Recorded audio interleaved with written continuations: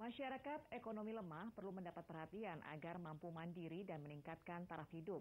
Tak hanya dalam bentuk bantuan, namun juga pembinaan dan motivasi untuk bangkit, bekerja keras, serta mengubah nasib menjadi lebih baik.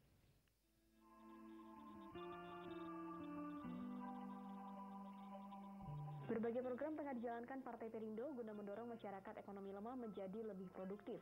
Salah satunya dengan mengembangkan usaha mikro, kecil, dan menengah atau UMKM. Komitmen untuk menjalankan program ini agar maksimal dan tepat sasaran perlu keterlibatan dari semua pengurus, baik pusat maupun daerah. Ketua Umum Partai Perindo Haritanu Sudibyo mengajak setiap pengurus untuk turun langsung melayani masyarakat.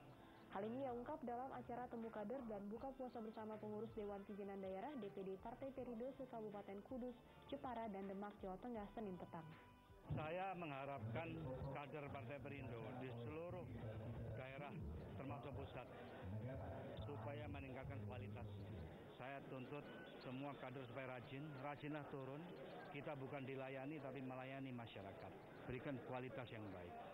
Saya yakin kalau kader Partai Perindo seperti itu, Partai Perindo akan maju dan menjadi partai yang besar.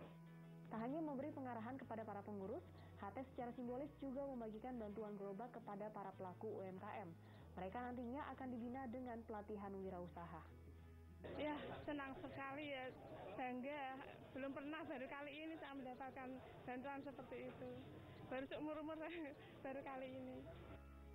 Pemberian bantuan gerobak Partai Perindo sebelumnya juga dilakukan di Rembang dan Pati, Jawa Tengah. Dibagi secara berkelanjutan, harapannya bantuan ini bisa dimanfaatkan para pelaku UMKM untuk mengembangkan usaha, meningkatkan taraf hidup, dan membuka lapangan pekerjaan baru. Dari Rembang dan Kudus, Jawa Tengah, Tim Liputan MNC Media melaporkan.